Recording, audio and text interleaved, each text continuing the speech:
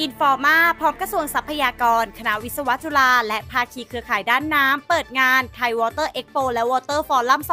2024 หนุนรับมือการเปลี่ยนแปลงสภาพภูมิอากาศ ดันไทยผู้นำบริหารจัดการน้ำอย่างยั่งยืนในอาเซียน กระทรวงทรัพยากรธรรมชาติและสิ่งแวดล้อม พร้อมด้วยคณะวิศวะจุฬา Informa Markets ประเทศไทย และภาคีเครือข่ายด้านน้ำจากสมาคมนักอุทกวิทยาไทย สมาคมการประปาแห่งประเทศไทย วิศวกรรมสถานแห่งประเทศไทย ร่วมกันเปิดงาน Thai Water Expo และ Water Forum 2024 ขนทัพเทคโนโลยีนวัตกรรมและโซลูชันด้านการจัดการทรัพยากรน้ำและน้ำเสียที่ทันสมัย ชูแนวคิดปฏิวัติเทคโนโลยีน้ำขับเคลื่อนการปรับตัวต่อสภาพภูมิอากาศ สู่อนาคตที่ยั่งยืน เสริมแกร่งผู้ประกอบการมุ่งบริหารจัดการน้ำอย่างมีประสิทธิภาพ ให้กับทุกห่วงโซ่อุปทานในระบบนิเวศทางธุรกิจยุคเศรษฐกิจใหม่ พร้อมสัมมนาให้ความรู้โดยผู้เชี่ยวชาญจากทั้งในและต่างประเทศ และเปิดตัวการลงนามสัญญาร่วมมือกันอย่างเป็นทางการค่ะ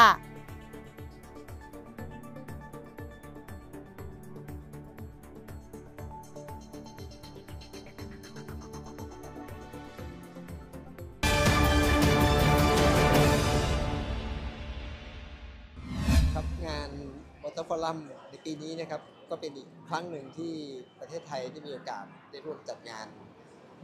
กับประเทศอื่นๆนะครับที่แต่ละบริษัทที่เข้ามาเปิดบูธในคราวนี้นะครับทางกระทรวงทรัพยากรธรรมชาติและสิ่งแวดล้อมเนี่ยก็เห็นความสำคัญกับเรื่องกับเรื่องนี้นะครับ เพราะว่าเรื่องน้ำเนี่ยเป็นเรื่อง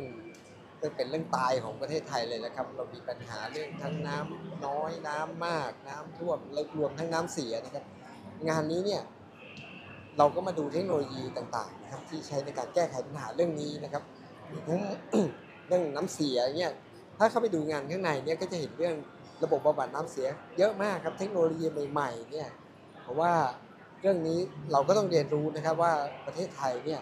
เราจะต้องทำอย่างไรในการแก้ไขปัญหาเรื่องนี้ เพราะว่าตอนนี้เทคโนโลยีมาแล้ว ถ้าแก้ไขปัญหาเรื่องระบบน้ำเสียได้ผมว่าหลายเมืองในชุมชนเนี่ย ในประเทศไทยเนี่ยจะจะเป็นเมืองที่น่าอยู่มากขึ้น การแก้ปัญหาน้ำท่วมน้ำแรงก็เช่นเดียวกันครับ ระบบเทคโนโลยีที่เอามาแสดงในงานนี้เนี่ยผมว่าก็สามารถแก้ไขปัญหาได้ทุกภาคส่วน ทั้งในชุมชนเมือง ในชนบท รวมทั้งบางแห่งได้มีการดูถึงระบบบำบัดน้ำระบบสูบน้ำจากน้ำใต้ดินก็มี อันนี้ผมว่าค่อนข้างจะครบวงจรครับสำหรับงาน Water Forum ในปีนี้นะครับ ก็ต้องขอขอบคุณผู้จัดงานนะครับที่ให้ความสำคัญ รื่องน้ำในประเทศไทยนะครับ การแก้ปัญหาเรื่องน้ำก็เราก็ต้องการความร่วมมือจากทุกภาคส่วน อย่างเช่นงานนี้นะครับ ก็มีทั้งในประเทศทั้งต่างประเทศภาคเอกชน ภาคการศึกษาก็มาร่วมกัน เพราะงานนี้ผมว่าก็อยากจะเชิญชวนนะครับ ทุกท่านให้มาร่วมชมงานนี้ครับแล้วก็มาใช้ประโยชน์กับการจัดงานครั้งนี้ แล้วเอาไปใช้ประโยชน์ในงานในชีวิตประจำวันในการใช้ชีวิตของท่านต่อไปครับสำหรับสำหรับภาพรวมของงานนะครับก็ งานนี้ได้รับการสนับสนุนนะครับจากทางด้านกระทรวงทรัพยากรและสิ่งแวดล้อมนะครับ แล้วก็ในส่วนของภาคในเรื่องของวิชาการการสัมมนานะครับ ก็ได้มหาวิทยาลัยจุฬาลงกรณ์นะครับ เข้ามาเป็นตัวเรียกว่าหลักในการสร้างสัมมนาเกิดขึ้นมานะครับ เพราะงานนี้นะครับถือเป็นงานสำคัญระดับนานาชาตินะครับ นอกจากการได้รับความรู้นะครับจากผู้เชี่ยวชาญนะครับจากทั่วทุกโลกนะครับมามาในงานนี้นะครับ นอกจากนั้นเทคโนโลยีต่างๆ ที่เข้ามาแสดงในงานนะครับ ตอบโจทย์ของอุตสาหกรรมนะครับ โดยเฉพาะเรื่องการบริหารจัดการน้ำนะครับ น้ำดีน้ำเสียการบำบัดน้ำน้ำต่างๆนะครับ เรามีผู้ประกอบการมาออกงานเนี่ยมากกว่า 20 ประเทศนะครับ เป็นจำนวนบูธเนี่ยก็ถึงจำนวนประมาณ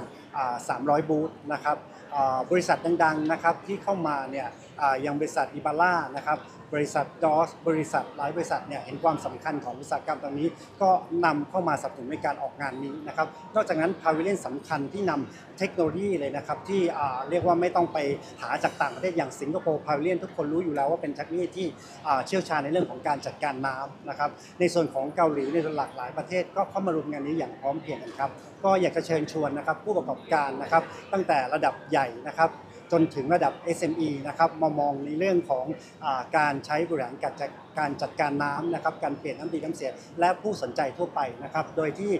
นอกจากเรื่องของการจัดงานในเรื่องของเทคโนโลยีแล้วเนี่ยนะครับเรื่องของการให้ความรู้นะครับก็จะเป็นหลักของงานนี้นะครับเรามีสัมมนามากมายนะครับที่เกิดขึ้นตอบโจทย์ของอุตสาหกรรมการใช้การบริหารจัดการน้ำในงานนะครับจัดวันวันนี้นะครับจนถึงวันพรุ่งนี้นะครับวันศุกร์ที่5นะครับกรกฎานะครับที่ศูนย์ประชุมแห่งชาติสิริกิติ์ครับ